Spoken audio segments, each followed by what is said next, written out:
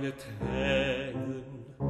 Nun seid ihr gar so lau, dass ihr starrt zu Eise, wie kühner Morgentau.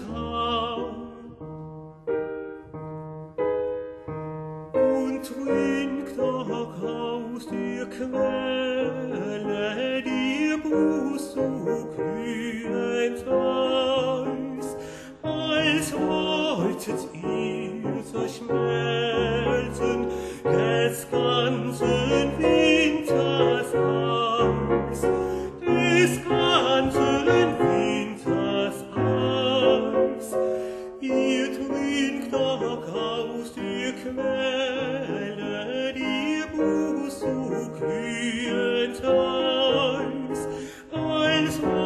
wolltet ihr zerschmelzen des ganzen Wissens.